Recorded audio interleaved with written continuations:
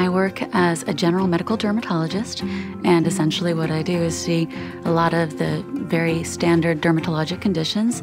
I do general skin checks, minimally invasive procedures, biopsies of suspicious lesions or rashes, eczema, psoriasis, acne. Typically, I see patients that potentially could have an atypical mole or potential skin cancer.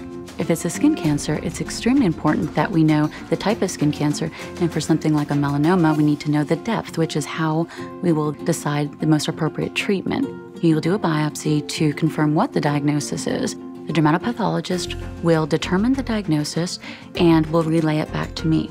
Our office then will talk to the patient about the results and where we need to go from there. Now, sometimes we don't need to do anything. Sometimes we have found that the lesion in question is perfectly okay, and then we just monitor with regular skin checks. But we will talk to the patient and let them know what's appropriate for them.